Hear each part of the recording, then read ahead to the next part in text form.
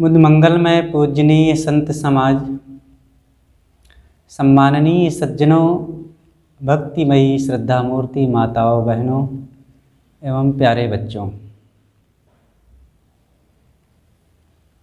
आइए आज हम स्वर्ग की यात्रा करते हैं। हमारे देश में स्वर्ग की बड़ी महिमा है। शहर से देहात तक शिक्षितों से अशिक्षितों तक, पुरुषों से नारियों तक और बुज़ुर्गों से बच्चों तक, सबके मन में स्वर्ग की एक बड़ी प्यारी कल्पना है। और सबके मन में यह होता है कि हम भी स्वर्ग का सुख प्राप्त करते तो अच्छा होता। स्वर्ग एक ऐसा शब्द सबके दिलों में बसा हुआ है कि जिसके लिए बड़ा आकर्षण उत्पन्न होता है। वहाँ बड़ा सुख होगा, बड़ी सुविधाएँ होंगी। किसी प्रकार की कोई प्रतिकूलता, तकलीफ़, अभाव, रोग और तन की, मन की, धन की, प्रकृति की, किसी प्रकार की कोई कमी वहाँ नहीं होगी। एक ऐसी कल्पना है कि जो बड़ी प्यारी है, बड़ी मीठी है, लेकिन जहाँ पर लोग उसकी उम्मीद रखे हैं, वो उम्मीद ऐसी है कि केवल सदा सदा के लिए वो अधूरी ही रहनी है। बाहर से वो पूर्ण नहीं हो सकती। लेकिन अगर उसको हम सकारात्मक ढंग से विचार करें, अपने जीवन में उसके लिए विचार पूर्वक अगर हम लागू करें तो वो निश्चित ही उम्मीद आज ही पूरी हो सकती है। एक नवयुवक था। वो एक बार एक संत के पास गया और स्वर्ग के लिए ऐसी ही कल्पना करके संत से बात करता है और कहता है, भगवान, मैं चाहता हूँ कि मैं स्वर्ग का मालिक बनूँ और स्वर्ग मेरी मुट्ठी में हो। स्वर्ग का मैं सुख भोगूँ। सारा आनंद स्वर्ग के का मेरे लिए ही हो। संत ने कहा, बेटा, तुम बिल्कुल स्वर्ग को प्राप्त कर सकते हो। स्वर्ग तुम्हारी मुट्ठी में हो सकता है। युवक ने कहा, महात्मन, इसके लिए मुझे क्या करना पड़ेगा? संत ने कहा, बेटा, तुम्हें कुछ नहीं करना है, बस मेरी इन बातों का ध्यान रखना है। मेरी ये पाँच बातें अगर तुम ध्यान रखोगे तो स्वर्ग के तुम खुद मालिक बन जाओगे। स्वर्ग तुम्हारे अपने अधिकार में हो जाएगा। युवक ने कहा, महाराज, वो कौन सी आपकी बातें हैं? संत ने कहा, बेटा, सदैव सिर को ठंडा रखना। दूसरी चीज़ उन्होंने कहा कि जेब को गर्म रखना। तीसरी बात उन्होंने कहा कि जीभ को नरम रखना और आँखों में शर्म रखना। और अंतिम पांचवी बात संत ने कहा कि दिल में रहम रखना। ये पाँच बातें जो संत ने युवक के लिए बताया था, वो समस्त मानव समाज के लिए बहुत ही उपयोगी है। हम सबको भी इन बातों का जीवन में पूर्ण पालन करना चाहिए, तब स्वर्ग की प्राप्ति होगी। जो हम चाहते हैं, वह सब कुछ पूर्ण होगा। आइए, इन पाँचों बातों पर थोड़ा थोड़ा विचार करें। ऐसे तो समझ में नहीं आता है कि सिर ठंडा रखना, पैर गरम रखना, जीभ नरम रखना, ये सब क्या मतलब है? लेकिन जब इन्हीं पर विचार करते हैं तो इसमें बहुत सारे रहस्य निकलते हैं। जीवन के वे ऐसी कुछ परतें खुलने लगती हैं कि जिससे कि हमारा जीवन कुछ दूसरे ढंग का पता चलने लगता है। तो सिर को ठंडा रखना। सिर को ठंडा रखने का मतलब उत्तेजना, तनाव, क्रोध और झुंझलाहट से दूर रहना। सब समय शांत मन, ठंडा मन और कूलिंग। दिमाग ठंडा है आबो हवा ठंडी, कश्मीर नहीं साहब। ठंडा हो कलेजा जहाँ कश्मीर उसे कहते हैं। चाहे जितनी वातानुकूलित कमरे में चले जाओ और उतना ही नहीं कश्मीर की उन बर्फानी जगहों में चले जाओ, वहाँ भी दिमाग अगर ठंडा नहीं है तो दिल जलता रहेगा। और जहाँ भी मन शीतल हो जाए, जहाँ भी मन में भक्ति, ज्ञान, शांति, विनम्रता और सदाचार प्रकट हो जाए, वहीं परम शीतलता है, वहीं कश्मीर है। तो हम दिल दिमाग को सदैव ठंडा रखें। एक बार एक संत एक बगीचे में बैठे थे। एक पुलिस का अफसर उधर से निकला। संत के पास दंड प्रणाम करके बैठ गया और कहता है, भगवान, मुझे स्वर्ग और नरक के बारे में कुछ बताइए। संत ने कहा, पहले अपना परिचय बताओ। उन्होंने कहा, महाराज, मेरी पोशाक से ही आपको पता चलता होगा कि मैं पुलिस का एक अफसर हूँ। उन्होंने कहा, तुम जैसे व्यक्ति को पुलिस का अफसर किसने बना दिया?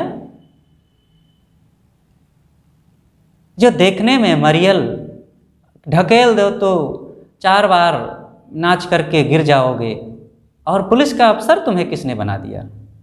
इतनी बात सुनते ही उस व्यक्ति की त्योरियाँ चढ़ गई। दांत किटकिटाने लगा, हाथ कांपने लगा, आँखें लाल हो गई। खून खोल गया। उन्होंने कहा, महाराज, दिमाग तुम्हारा ठंडा है कि नहीं? उन्होंने कहा कि, मेरा दिमाग ठंडा है, तुम सोचो, तुमको किसने ये पुलिस का अफसर बना दिया? अब वो रिवाल्वर निकाल लिया। कहा, मैं अभी भून दूँगा। महात्मा ने कहा अच्छा अच्छा रिवाल्वर भी रखे हो, जिससे एक चूहा को भी मारना कठिन है, और ऐसी रिवाल्वर वो और एकदम पसीना पसीना हो गया। और ऐसा लगा कि अब मार ही देगा संत को। तब संत ने कहा कि बेटा, तुम इस समय नरक में हो। ओ, संत की बात सुनते ही वो बिल्कुल एकदम ठंड हो गया, सुस्त हो गया और कहा कि संत तो मुझे मेरे प्रश्नों का जवाब दे रहे थे। और वो संत के चरण में गिर पड़ा, पैरों को पकड़ लिया क्षमा मांगने लगा और कहा, भगवान, मैं भूलवश आपसे न जाने क्या क्या आपके लिए अपशब्द कहा गया। आप मुझे क्षमा करें। और जब मीठे शब्दों में, पवित्र भावों में विनम्रता पूर्वक जब वो संत से क्षमा मांगने लगा, तब संत ने कहा, बेटा, इस समय तुम स्वर्ग में हो। यही है स्वर्ग और नरक। जिस क्षण हम क्रोध, उत्तेजना, विवाद और झगड़े में होते हैं और दिल दिमाग में अशांति ईर्षा द्वेष छाए होते हैं, विवाद की भावना होती है तो यही नरक है। और मन के इस नरक को हर इंसान को निकाल करके रखना चाहिए। और जिस समय हम विनम्र भाव में प्रेम और प्रसन्नता के साथ दूसरों का स्वागत सम्मान करते हुए आत्म स्थिति और आत्म विचार में निमग्न होते हैं तो यही स्वर्ग है। इस स्वर्ग के लिए सबको अभीपसा रखनी चाहिए, सबको कामना रखनी चाहिए कि ऐसा स्वर्ग मुझे प्राप्त हो। ये बाहर परिस्थितियों से, चीज़ों से नहीं, बल्कि हमारी कमाई होनी चाहिए। हमारे कर्मों का ये फल है, ऐसा जीवन गढ़ने से बनता है। ऐसा जीवन ऐसी दशा मार्केट में नहीं मिलती है। मार्केट में चीज़ें मिलेंगी, कपड़े मिलेंगे, सामान मिलेंगे, टेलीफोन, टेलीविज़न मिलेंगे, लेकिन सुखी जीवन जीने का मन नहीं मिलेगा। मन तो और स्वभाव तो स्वयं बनाना पड़ता है हमें। इसलिए सज्जनों, ऐसा हम अपना स्वभाव बनावें। दो भाई थे, आपस में बड़े प्रेम से रह रहे थे। किसी बात को लेकर के एक बार विवाद हो गया। छोटा भाई बड़े भाई के नन्हे बच्चे को गोद में लिए खिला रहा था। बड़ा भाई कुछ कटु शब्द बोला, छोटे ने भी जवाब दे दिया और बड़ा भाई सह नहीं पाया, उठाकर लाठी मार दिया।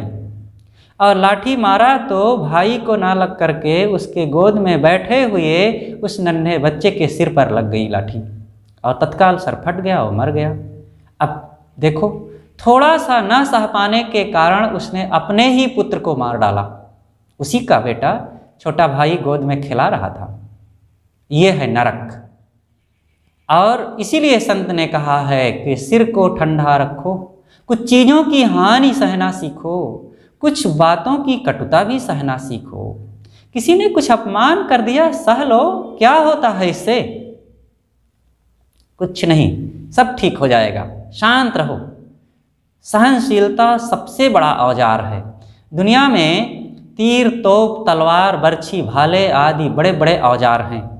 लेकिन इन औजारों में सबसे जो कारगर औज़ार है किसी पर विजय प्राप्त करने के लिए तो वह है कोमल मीठी वाणी मीठी वाणी अगर आप बोलते हैं तो इस हथियार के बल पर आप बड़ी बड़ी सेनाओं पर भी विजय प्राप्त कर सकते हैं। इसलिए स्वर्ग पाना है अगर तो शीतल बने। एक बहुत ही वो ससुराल में रहती और आए दिन सास से झगड़ा होता रहता। एक बार जब वो नैहर आई तो उसके माता पिता ने पूछा कि, बेटी, ससुराल का क्या समाचार है? उसने कहा माता जी सब वहाँ अच्छे हैं। मेरे ससुर जी, पति जी, देवर और जेठ, ननंद सब ठीक हैं, लेकिन मेरी जो सास है, वो बहुत लड़ाकू है। वो बात बात में जब कभी झगड़ा ठान देती है। पिता ने कहा, बेटी, घबराने की ज़रूरत नहीं है। मैं तुम्हारे लिए एक दुआ करवा दूँगा। ज्योतिषी से तुम्हारे लिए एक ताबीज बनवा दूँगा, जिसमें ऐसी शक्ति होगी कि तुम्हारी सास फिर कभी नहीं लड़ेगी। और पिताजी जा कर के एक ज्योतिषी से ताबीज बनवा लाए। बेटी को दे दिए और कहा कि ले जाओ इसे। लेकिन ये ध्यान रखना कि जब तुम्हारी सास लड़ते हुए सामने आवे तो इसको मुख में अपने दबा लेना। और फिर बोलना मत, मुख को खोलना ही मत। फिर तुम्हारी सास बिल्कुल झगड़ा करना बंद कर देगी। उसने कहा, पिताजी, ये तो बहुत सरल तरीका है, मैं ऐसा ही करूँगी। और वो गई। एक दिन की बात, सास लड़ते हुए आई। इसने अपने मुख में तुरंत जा कर के पेटी खोला और ताबीज को मुख में दबा लिया। अब सास थोड़ी देर कटु कुठार कहती रही, अकेले कहाँ तक कहती? अब इसका भी तो मन होता कि मैं भी कुछ जवाब दे दूँ। लेकिन पिता ने जोरों से चूड़ी कस दिया था कि मुख खोलना मत, नहीं तो अंधी हो जाओगी। अंधी होने का डर था, इसलिए इन्होंने मुख खोला नहीं और चुप रही। अब चुप रहने से फिर झगड़ा बढ़ता नहीं है। आवत गारी एक है, उलटत होए अनेक। कहें कबीर नहीं उलट ये वही एक की एक। गाली आती है, और जब उसको हम जवाब देते हैं, तब दो। और दो हुई तो फिर झगड़ा शुरू। आई अकेले अकेले कहाँ फिर झगड़ा होता है? वो लौट जाएगी। हम मुक्का मारें, और आगे कोई व्यक्ति ना हो, कोई दीवार ना हो, कोई जानवर ना हो तो मुक्का किसको चोट पहुंचाएगा? इसी प्रकार एक अहंकार का मुक्का किसी ने मारा और हमारा अहंकार सामने है ही नहीं, तब वो अहंकार अपने आप निस्तेज होकर के समाप्त हो जाएगा। इस प्रकार से सिर को ठंडा रखने का यही भाव है। सदैव विनम्र रहें, एक दूसरे की मर्यादा करना सीखें, प्रेम की भावना बना करके रखें और मनुष्यों का सम्मान। लोग तो ऐसे देवी देवताओं की पूजा करते हैं, जो ना बोलते, ना डोलते, ना खाते और ना कुछ करते। और उन देवी देवताओं का अपमान करते हैं, जो बोलते, डोलते और हमारे साथ सदव्यवहार और हमारी सेवा, सत्कार करते हैं, उनसे लड़ते हैं। यही है ना समझी। यही है दिमाग का घूम जाना। यही है विपरीत बुद्धि। इसलिए इन समस्त विपरीत विचारों को दिमाग से निकाल करके सदैव शांत रहना सीखें। सास बहू में आए दिन कलह होता रहता है। मीठा बोलना सीखें, जो बहू बाहर से आई है आज, जिस सास ने बहू को कहा कि ये चार दिन की लड़की आकर के घर को बिगाड़ दी, अरे, वो सास भी तो बाहर से आई है। और वह भी तो इसको चार दिन हुआ तो उसको आठ दिन हुए हैं।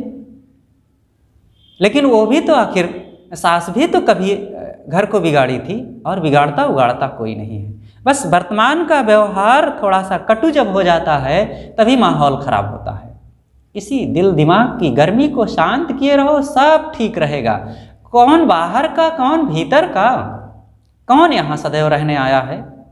जिनको कहते हैं, ये यहीं के हैं। वो कब तक यहाँ रहेंगे? और जिनको कहते हैं ये बाहर से आए हैं, वो बाहर कहाँ से आए हैं? आपके ही घर, गाँव, परिवार और इसी दुनिया से आए हैं। कोई कहीं बाहर से नहीं आया है। इसलिए बस अगर शांति, शीतलता और स्वर्ग की अभीपसा है, स्वर्ग की कामना है तो फिर दिमाग को, सिर को ठंडा रखें। संत ने उस युवक से जो पहली बात कहा था कि सिर को ठंडा रखना तो किस लिए कहा था? स्वर्ग प्राप्ति के लिए। क्योंकि युवक ने पूछा था कि मुझे स्वर्ग कैसे मिले तो स्वर्ग प्राप्ति के लिए उन्होंने यही कहा था कि बेटा, सिर को ठंडा रखना।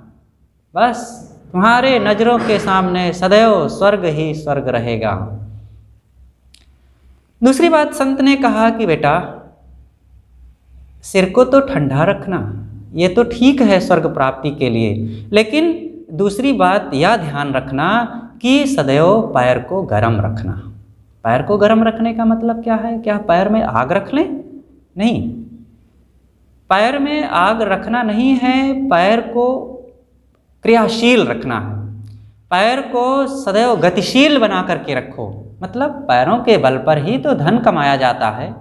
जो सुस्त, आलसी निकम्मा बन करके बैठ जाएगा वो धन क्या कमाएगा? वो गरीब हो जाएगा। और उसका जीवन गुजर भी कठिन हो जाएगा। फिर वो परिवार में बाल बच्चों में, समाज में और अपने मन में भी कहीं भी सम्मान नहीं पाएगा। इसलिए हर इंसान को परिश्रमी होना चाहिए। क्योंकि बिना परिश्रम के यहाँ संसार में कुछ नहीं मिलता। हम बहुतों के परिश्रम का लाभ उठा रहे हैं। जिन सड़कों पर चल रहे हैं, जिस घर में रह रहे हैं, जो कपड़े पहने हुए हैं, घर में जिन चीज़ों का उपयोग कर रहे हैं, जो चावल दाल खा रहे हैं, वो बहुतों की मेहनत का फल है और उसका हम लाभ ले रहे हैं। हम भी कुछ ऐसा मेहनत करें कि हमारी मेहनत का लाभ दूसरे लोग उठावें और हमें भी मिले और फिर मेहनत करने से बड़े फ़ायदे हैं। शरीर स्वस्थ रहेगा, घर के लोग खुश रहेंगे घर का सारा काम हो जाएगा। और जहाँ भी जाएँगे, शरीर जब हम, हमारा गतिशील रहेगा, हम कर्मठ रहेंगे तो सबके हम प्यारे हो जाएँगे। सेवा की भावना होने से सारी दुश्मनी समाप्त हो जाती है। इसलिए पैर को गर्म रखो, मेहनती बनो। जो मेहनती नहीं होगा, वो दरिद्र हो जाएगा। और फिर दरिद्र को जीवन गुजर करना बड़ा कठिन हो जाता है। इसलिए खूब मेहनत करो। धन को अब मेहनत करने के नाम पर अब धन ही कमाते रह जाएँ। साधना, भजन, त्याग, तप और मन की पवित्रता की कमाई ही ना किया जाए, ये भी गलत बात है। परमार्थ। धन और धर्म ये दो चीज़ें हैं और दोनों का जीवन में अत्यंत महत्वपूर्ण है। अगर धर्म हमारा बढ़ नहीं रहा है और धन बढ़ रहा है तो ये वैसे है, जैसे एक पैर को तो बहुत आगे बढ़ा दिया जाए और दूसरा पैर बस पीछे ही रह गया तो फिर हम गिर जाएँगे और हम लंगड़े हो जाएँगे। इसलिए ज़रूरत है, पैरों को सदैव हम ठीक रखें, कहीं अपने समय को बर्बाद ना करें। तीसरी बात संत ने युवक से कहा कि बेटा अगर तुम स्वर्ग पाना चाहते हो तो जीभ को नरम रखना। जीभ को नरम रखने का मतलब है, जीभ से ही तो वाणी का उच्चारण किया जाता है। जीभ से ही भगवान का गुणानुवाद गाया जाता है। जीभ से ही मीठी वाणी बोली जाती है। इसलिए जीभ का नरम होना बहुत ज़रूरी है। सदैव मीठा बोलें। सदगुरु कबीर कहते हैं, मधुर वचन है औषधि कटुक वचन है तीर, श्रवण द्वार है संचरे, सालय सकल शरीर। इसलिए सदैव मीठा बोलें। कटु बोलने वाला व्यक्ति सदैव अपने आसपास का वातावरण खराब कर लेता है। महाराज, श्री राम ने दुश्मन के भाई से मीठा बोल करके उसको अपना बना लिया था। विभीषण रावण का भाई था। और रावण ने अपने भाई को कटु बोल करके दुश्मन बना लिया, पराया बना लिया था। और राम, रावण के भाई, रावण दुश्मन था। और रावण के भाई से मीठा बोल करके उसको अपना बना लिया। ये है बोलने की कला। जो, जिसको बोलने की कला नहीं है, वो सब तरफ़ ठोकरे खाता है। और सब तरफ़ वो अपमान पाता है और दुख पाता है। इसलिए, सदैव मीठी वाणी बोलें। वाणी ही से उपजय कलह कष्ट अरु मीच। हार चले सो संत है, लाग मरे सो नीच। इसलिए हर इंसान को चाहिए कि अपनी वाणी को बड़ी सावधानी से प्रयोग करे। तो संत कहते हैं कि जीव को नरम रखना। एक बूढ़ा था और बूढ़ा लेटा हुआ था, उसके कई बच्चे थे। तो बूढ़े ने अपने बच्चों को बुला करके एक दिन पूछा कि, बच्चों, ये बताओ, मेरे मुख में दांत है कि नहीं? तो बच्चे आकर के, बाबा के मुख खोल करके देखते हैं और उन्होंने देखा कि कोई दांत नहीं है। एक भी दांत मुख के अंदर नहीं। सभी बच्चे उंगली डाल डाल करके मुख में टटोलते हैं तो पता चला कि एक भी दांत नहीं है। बूढ़े ने कहा, बच्चों ने कहा कि बाबा, आपके मुख में एक भी दांत नहीं है। तो पिता ने कहा कि बेटा, मुख में एक भी दांत नहीं है, लेकिन जीव है कि नहीं? जीव है कि नहीं? तो बच्चों ने कहा कि पिताजी, जीव है। पिता ने कहा कि देखो बेटा, दांत जन्म के बहुत बाद निकले, और जब निकले तो भी बहुत कष्ट दिए, बहुत दर्द हुआ था। और अभी शरीर है और शरीर रहते रहते बहुत पहले ही दांत निकल गए। और जब दांत झड़े थे, जब दांत टूटे थे, तब भी बहुत कष्ट दिए थे। और जीव जीव जन्म से है और आज तक जीव है। जीव क्यों है? क्योंकि जीव कोमल होती है। जो कोमल होता है, वो सदैव अपना अस्थायित्व, मुकाम बनाता है। और दांत कठोर होते हैं और इसीलिए अपनी कठोरता के कारण वे पहले ही चले गए। इसलिए बच्चों, कभी कठोर मत बनना, सदैव विनम्र रहना, आपस में मीठा बोलना, एक दूसरे के साथ भाईचारे का व्यवहार करना। इसलिए संत ने कहा कि बेटा, सदैव जीव को नरम रखना। जीव रख, नरम रखने का मतलब है कि विनम्र रहना, मीठी वाणी बोलना। और यही है स्वर्ग पाने की युक्ति। जो व्यक्ति अपनी जीव को नरम रखेगा, वही मानो स्वर्ग का मालिक बनेगा। तो संत ने जो कहा है, वो कितनी कीमती वचन है। एक एक शब्दों में कितना महत्व है, कितना रहस्य छिपा हुआ है कि जीव को नरम रखना स्वर्ग पाने की ये कला है। स्वर्ग इसी तरीके से मिलता है।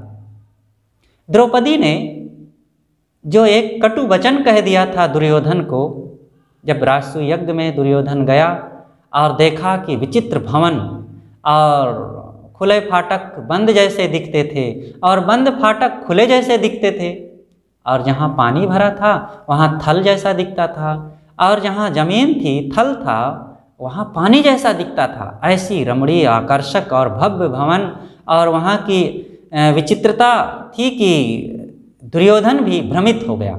और एक जगह वो पानी में धड़ाम से गिर गया। वहाँ थलीय स्थल दिख रहा था, लेकिन पानी था। और द्रौपदी ने देखा और हंस करके मजाकी भाव में उन्होंने कहा, अंधे के अंधे ही होते हैं। पानी में गिरना जितना उसके लिए कष्ट कर नहीं था, उससे सैकड़ों गुना ज़्यादा द्रौपदी के वे वचन दुर्योधन को अंदर तक प्रवेश कर गए। और फिर तभी उसने निश्चय कर लिया कि द्रौपदी, इसका तुम भरपूर परिणाम पाओगी। और वही हुआ कि भरी सभा में द्रौपदी का अपमान दुर्योधन ने करवाया था। और फिर इतना ही नहीं, महाभारत युद्ध हुआ। और फिर कौन हारा, कौन जीता, ये अलग बात है। लेकिन कितनी बड़ी विपत्तियाँ सामने आई। ये छोटे छोटे कटु वचन के जो प्रभाव होते हैं, तत्काल नहीं पता चलते। लेकिन हमारे अपमान भरे कटु वचन को कोई सह सकता है, लेकिन भूल नहीं सकता। ये सदैव सबको ध्यान रखना चाहिए। हमने किसी को कटु कह दिया। उसकी समझदारी है, गंभीरता है, वो सह लिया, शांत रहा, लेकिन वो भूल नहीं जाएगा। समय पड़ने पर वो ज़रूर कुछ कह सकता है। इसलिए भूल से भी अपने दुश्मन को भी कभी कटु मत कहना। सदैव शांत रहना सीखें। ये मनुष्य की शोभा है। आप अपने अंदर इतना मजबूती रखिए कि आपका स्वभाव बन जाए मीठा बोलना। आप जिधर भी जाएँ, आपके स्वर से, आपकी ज़ुबान से हम किसी को धन नहीं दे सकते। हमारे पास धन नहीं है, धन नहीं दे सकते। और ज़मीन गाड़ी, मोटर, कपड़े, लत्ते और भी चीज़ें हम नहीं दे सकते हैं सबको, क्योंकि इतना हमारे पास है भी नहीं। लेकिन अगर हम गूँगे नहीं हैं तो हम कम से कम मीठी वाणी तो दे सकते हैं। इसमें ना पैसा लगता है, ना कुछ खर्च लगता है, ना मेहनत लगती है, और ना ऐसी कोई कला का प्रयोग करना पड़ता है कि इतना पढ़ाई लिखाई विद्वता हो, इतने लंबे चौड़े हम हो, तभी मीठा बोल पाएँगे। इसलिए सदैव मीठा बोलें। और इस मीठा बोलने का परिणाम क्या होगा? कि हमारे आसपास चारों तरफ़ स्वर्ग का साम्राज्य मिलेगा। जहाँ भी जाएँगे, अपने और परायों में सब तरफ़ आदर, सम्मान, प्रेम हमें मिलेगा। रोटी किसी को खिला देना उतनी बड़ी चीज़ नहीं है जितना कि किसी से प्रसन्नतापूर्वक उसका सम्मान करते हुए दो शब्द बोल देना। एक बाबूजी जा रहे थे। रास्ते में एक भिखारी बैठा था। और वो सबके सामने हाथ फैलाता बाबूजी एक रुपया पेट के लिए बाबूजी एक रुपया पेट के लिए। तो वे सज्जन उधर पहुँचे और उन्होंने अपनी कोट में, कोट की जेब में हाथ डाला तो कोई पैसा नहीं मिला। दूसरी जेब में डाला, संयोग से उसमें भी पैसे नहीं थे। अंदर की जेब में हाथ डाला तो वहाँ भी पैसे नहीं। वो बहुत शर्मिंदगी महसूस किया। और उस भिखारी के दोनों हाथ को पकड़ते हुए कहा कि, बाबू, आज मुझे मुझे क्षमा करना, मेरे पास एक रुपया भी नहीं है और समय से मैं ज़रूर तुम्हें कुछ दूँगा। उस भिखारी ने कहा, बाबूजी, आज मुझे आपने जो दिया है, वो इस रुपए पैसे से बहुत ज़्यादा बढ़ करके है। रुपए तो लोग दे ही देते हैं एक दो रुपए लेकिन रुपए देने के बाद जो आँखें लाल लाल करके देखते हैं, जो कटु वचन बोलते हैं, वो मेरे लिए बहुत दुखदाई होता है। आपने मेरा सम्मान करते हुए जो मुझे प्यार से गले लगा लिया और मुझे मीठे शब्दों में संबोधित किया, ये मुझे हज़ारों रुपए से बढ़ कर के मानो मिल गया। ये देखिए, ज़ुबान को नरम रखने का ये परिणाम है, इसलिए हमें मीठा बोलना चाहिए। सबके सामने सदगुरु कबीर की वाणियाँ जो हैं, सब जगह काम करती हैं। हम सबको ऐसे ही वाणियों का मनन चिंतन करके जीवन में सब समय ऐसे मीठे व्यवहार का सॉफ्टवेयर सब समय एक्टिवेट करते रहना चाहिए। साहब कहते हैं, बोल तो अमोल है, जो कोई बोले जान ये तराजू तौल के तब मुख बाहर आन। शब्द संभारे, बोलिए, शब्द के हाथ न पाओ, एक शब्द औषधि करे, एक शब्द करे घाव। ये शब्दों में एक एक शब्द में बड़ी जान होती है, और इन शब्दों को संभाल करके प्रयोग करो। शब्द शब्द बहु अंतरे, सार शब्द मत लीजे। कहें कबीर जहाँ सार शब्द ने दृग जीवन सो जीजे। शब्दों में भी सावधान रहें। ये बोल बोल करके लोग हमें भ्रमित भी, भटका भी सकते हैं। इसलिए ऐसी जगह, ऐसे लोग, ऐसी बातों से दूर रहें जहाँ से हमारे मन में अशांति आवे, चंचलता आवे, दोष, विकार और अवगुण आने की संभावना हो, वहाँ से दूर रहें।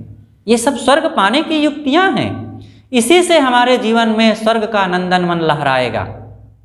तीसरी बात संत ने कहा कि आँखों में शर्म रखना। आँखों की शर्म कितनी ज़रूरत है? भौतिकता की चकाचौंध में आज का समाज कितना निर्लज हो गया है। ये रुपए, पैसे, फैशनी कपड़े और सुख सुविधाएँ इसके लिए आज आदमी अपनी माता को, पिता को, भाई को, पति और पत्नी तथा बच्चों को भी सताने में वो पीछे नहीं रहता। और ये टीवी टीवी ने और कुछ दिया हो या ना दिया हो, लेकिन हमारी आँखों की लज्जा और शर्म को तो छीन ही लिया है। आज से 40-50 साल पहले जो बात एक पिता अपने पुत्र से नहीं कह सकता और जो माँ अपनी बेटी से नहीं कह सकती है, उन सारी बातों को नहीं, बल्कि उन क्रियाओं को एक कमरे में बैठ कर के माता पिता बेटा बहू बेटी और सब एक साथ बैठ करके देख रहे हैं टीवी के सामने। ये है निर्लजता की पराकाष्ठा। और जब ऐसी निर्लजता होगी, जिस टीवी में हम देख रहे हैं, शराब पी करके एक व्यक्ति किसी की हत्या कर रहा है, कोई एक लड़का किसी लड़की को लेकर के भागा जा रहा है कोई किसी को मार रहा है, कोई कहीं चोरी कर रहा है, कोई नकब काट रहा है, कोई किसी का अपमान कर रहा है, जब ये सब हम बैठ करके देखेंगे एक कमरे में पिता पुत्र छोटे बड़े सभी तो उन छोटे बच्चों के दिमाग में क्या असर पड़ेगा? कि जब हमारे माता पिता सब देख ही रहे हैं, हमारे बड़े बूढ़े देख रहे हैं तो इन चीज़ों को देखने में कौन सी बुराई और फिर करने में भी क्या बुराई?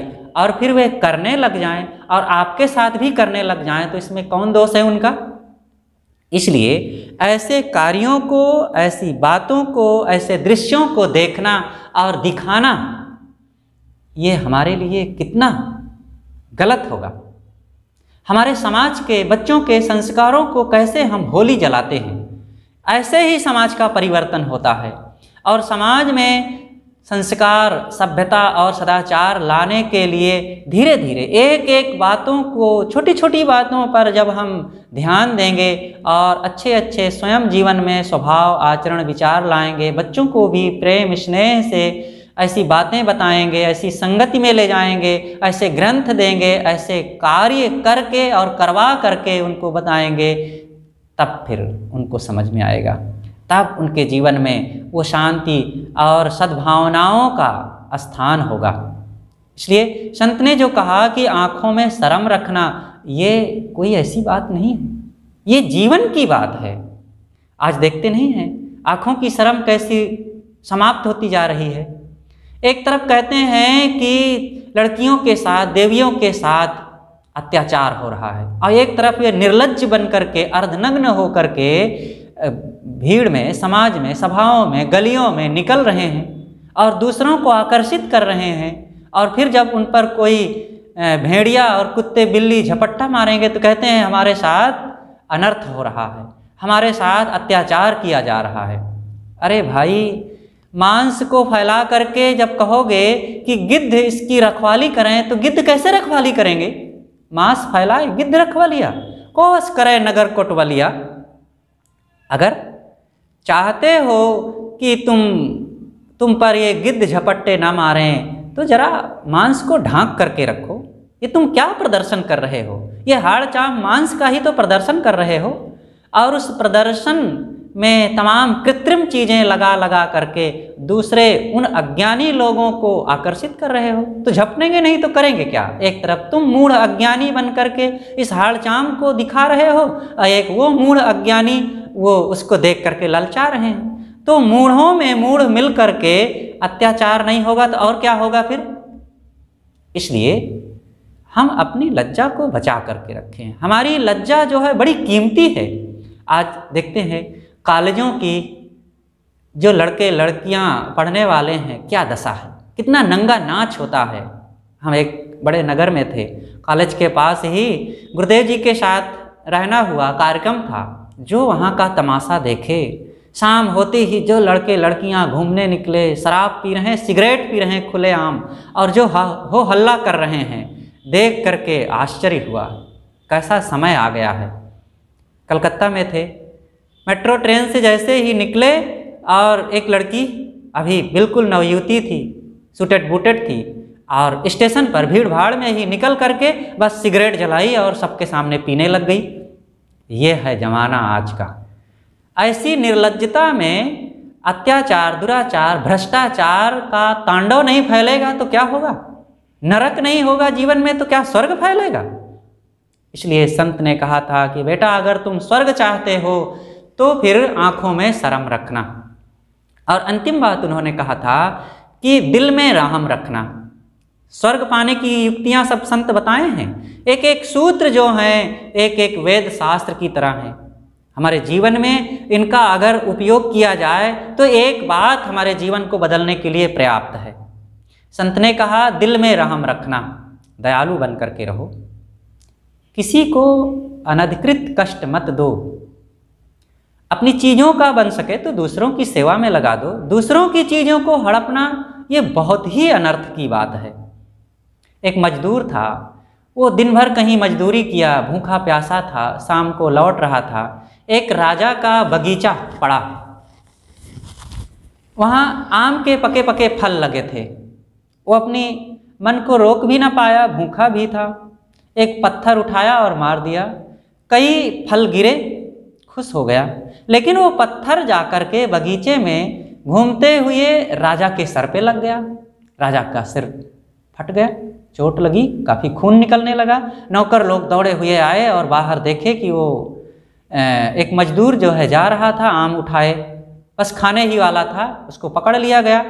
राजा के सामने प्रस्तुत किया गया। अब वो नौकर, जो मजदूर था, घबरा गया कि आज तो अब मेरी मृत्यु होना निश्चित है। क्योंकि किसी सामान्य व्यक्ति को नहीं, मेरे पत्थर से राजा को चोट लगी है। और राजा क्षमा नहीं कर सकता। राजा ने पूछा कि तुमने पत्थर क्यों मारा? उस मजदूर ने कहा कि हुजूर, बहुत भूख लगी थी। दिन भर काम किया, कुछ खाने को मिला नहीं, पैसे भी नहीं थे कि कुछ खरीद सकता। तो आम देखा और लालच को रोक ना सका। मैंने पत्थर मार दिया, बहुत मैंने गलत किया। आप जो दंड देंगे, मुझे स्वीकार है। राजा ने कहा, घबराओ मत। अच्छा ये बताओ, जब तुमने पत्थर मारा तो कितने फल गिरे? उन्होंने कहा, पाँच फल मिले। अच्छा पाँच फल मिले? तो राजा ने अपने नौकरों से, चपरासियों से एक टोकरी आम मंगाया और कहा, उस मजदूर को देते हुए कि जाओ, इसे घर में ले जाओ और अपने बाल बच्चों को भी खिलाना और खूब तुम भी खाना। चपरासी और अन्य आसपास के लोग देख करके आश्चर्य पड़ गए, हुजूर ये आप क्या कर रहे हैं? ये आपके सर में पत्थर मारा और आप इसे फल दे रहे हैं? राजा ने कहा कि देखो, इसने एक जड़ पेड़ में पत्थर मारा तो उसने पाँच फल दिया और मैं सचेतन व्यक्ति हूँ, जानदार, और मुझे पत्थर लगे तो मैं इसे कष्ट दूँ, मैं इसे चोट पहुँचाऊँ। मुझे तो इसे और ज़्यादा धन देना चाहिए था, लेकिन एक टोकरी ही फल दे करके मैं विदा कर रहा हूँ। ये है दयालुता। आज के राजा कहलाने वाले लोग बड़े बड़े पोस्टों पर रहने वाले लोग, ये धनी अफसर लोग समाज के अगुआ लोग इन बातों से सीखें। ऐसे ही धर्म के क्षेत्र में रहने वाले लोग भी अपनी प्रजा और अपने भक्तों, संतों के लिए सोचें कि ऐसे हमदर्द होना चाहिए, ऐसे विशाल हृदय वाले बन करके जब हम रहेंगे, तब हमारे जीवन में शांति और समाज में इसका प्रकाश फैलेगा। और दिल में रहम रखना संत ने कहा था युवक से कि बेटा, ये अंतिम बात है, स्वर्ग पाना चाहते हो तो मेरी इन पाँच बातों में से इस पांचवी बात को भी ध्यान में रखना, दिल में रहम रखना। कभी भी किसी दीन दुखी प्राणी को मत सताना। चीटी से हस्ती तक सभी प्राणी, सब दुख दर्द के मारे हैं। और किसी को दुख देना, ये कहाँ की इंसानियत है? सदगुरु कबीर ने कहा है घाव काहि पर घालो, जित देखो तित प्राण हमारो। किसको चोट पहुँचाई जाए? सबको तो अपने प्राण प्रिय हैं। साहब ने तो और भी कहा है, जीव मत मारो बापुरा, सबका एक प्राण। हत्या कबहू न छूटी है जो कोटिन सुनो पुराण। तुम जीवों को मार करके अपना पेट भरते हो, ये कितना गलत है। तुम्हारा पेट तो अन्य चीज़ों से भर सकता है, और उनकी तो तुमने जान ले लिया, उनका पेट ही काट डाले। अपने पेट को भरने के लिए, जबकि बहुत सारे विकल्प हैं, हज़ारों प्रकार की चीज़ें खाने योग्य हैं, जो पूर्ण निर्दोष हैं और वो मनुष्य के लिए ही बनाई गई हैं। चावल, दाल, साग, सब्ज़ी, फल, फूल, दूध, दही, मेवे, मिष्ठान, घी, अचार आदि अगणित चीज़ें हैं। और वो सब निर्दोष पर्याप्त मात्रा में सब तरफ़ उपलब्ध हैं। और इसके बाद भी इन जानदार प्राणियों को चलते फिरते प्राणियों को, जिनको दुख दर्द होता है, उनको मार करके खाना कहाँ की इंसानियत है? और फिर मार करके किसी के हाड़ मांस को मुख में चबाना, खाना, मुर्दा बना करके मुर्दा को पेट में खाना, दफनाना, ये तो बहुत ही नीचता और जंगलीपन है। बुद्धि का दिवाला निकल जाना है। इस हड्डी, चाम, मांस को खाना और जिसमें थूक, खखार, मलमूत्र भरे होते हैं, ऐसी चीज़ों को मुख में ले जाना, कदापि ये पवित्रता और समझदारी की बात नहीं हो सकती। चाहे जितने बड़े बड़े कहलाने वाले लोग इसको खाते हों और इस पर दलील देते हों कि प्रकृति ने, भगवान ने इन मुर्गे, भेड़ और बकरी आदि को हमें खाने के लिए बनाया है। ये तुमने सोचा है? कोई भगवान ने आकर के कहा है? ग्रंथों में लिखा है तो मनुष्य ने लिखा है, कोई भगवान ने आकर के लिखा है? ये हमारी केवल झूठी झूठी और मिथ्या दलील है बस। इन बातों में कोई दम नहीं है। हम सोचें और विचार करें। अच्छा तो जिन चीज़ों में प्रोटीन, विटामिन होता है तो क्या उन सबको खा ही लेना चाहिए? दोष, निर्दोष, उचित, अनुचित, पवित्र, अपवित्र, खाद्य, अखाद्य, करड़ी और अकरड़ी, इन बातों पर भी तो जरा विचार करना चाहिए। अगर गोबर में पता चल जाए कि इसमें भी विटामिन है तो क्या उसको खा लेना चाहिए? इसलिए भाई, अगर स्वर्ग सुख का अनुभव करना चाहते हो, जीवन में पवित्रता, शांति, सदाचार और इंसानियत कायम करना चाहते हो तो इन पाँच बातों का ध्यान रखना ही पड़ेगा। सदगुरु कबीर ने कहा है कि होए बिहिस्त जो चित न डोलावे, खसमई छाड़ी दो जख को धावे। तुम्हें स्वर्ग की प्राप्ति होगी, अगर तुम चित्त को चंचल नहीं करोगे तो। होय बिहिस्त जो चित्त न डोलावे। चित्त को चंचल मत करो। ये चित्त की चंचलता से ही चाहे क्रोध आता हो चाहे लोभ, मोह, आलस आता हो और चाहे कटुता मुख से निकलती हो और चाहे हमारे आँखों की शर्म, लज्जा, हया निकलती हो और चाहे हम क्रूर बन करके हिंसा, हत्या करते हों, ये सब हमारे मन की गंदगी का फल है। और साहब कहते हैं, उसी मन को तुम शांत कर लो, बस। फिर होए बिहिस्त, स्वर्ग की प्राप्ति हो जाएगी। और साहेब कहते हैं, खसमय छाण दो को धावे, तुम खसम को मालिक को और गुरु संत के ज्ञान विवेक, विचार और उनकी भक्ति, सेवा तथा उनके निर्मल आत्मज्ञान को त्याग करके तुम तो नरक की ओर भाग रहे हो। कुकर्म, दुष्कर्म, मन की मलिनता, यही तो नरक है। इसलिए बंधुओं, हम मन के इस सारे नरक को निकालें और ये तब निकलेगा जब हम स्वर्ग को स्थापित करेंगे। अपने आप एक के प्रवेश करने पर दूसरा अपने आप निकल जाता है और जब हम सदाचार, संयम, प्रेम और भक्ति सेवा को अंदर प्रवेश देंगे, तब दुराचार, दुष्कर्म, हिंसा, हत्या, क्रूरता, कठोरता अपने आप निकल जाएगी। और जब उनको प्रवेश देंगे तो ये फिर अपने आप दूर हो जाएँगे। इसलिए हमारे जीवन में शांति, संयम, सेवा, भक्ति और सदाचार का महत्व होना चाहिए और इसी का पूर्ण प्रकाश फैलना चाहिए। यही हमारे लिए, परिवार के लिए, समाज के लिए, राष्ट्र के लिए और विश्व के लिए मंगलमय होगा और यही सब के लिए सत्यम, शिवम, सुंदरम सिद्ध होगा।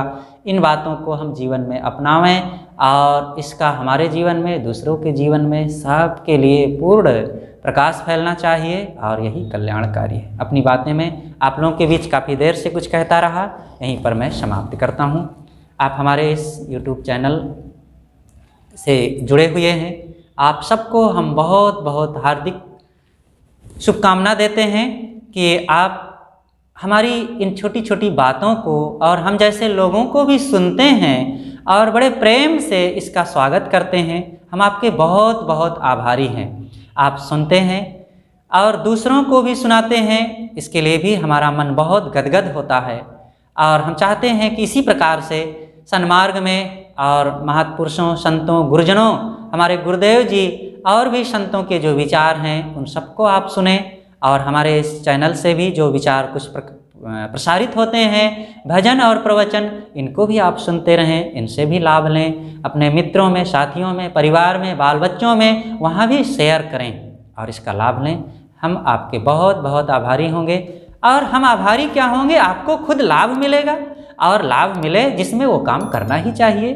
बस यही हमारे जीवन का लाभ है। यही जीवन का सुख है। यही जीवन की सबसे बड़ी उपलब्धि है। और दुनिया की चीज़ें तो सब छूटने वाली है, देखते नहीं हैं। अचानक सब छोड़ छोड़ सब जात है, देह गेह धनराज, क्या यहाँ साथ रहेगा?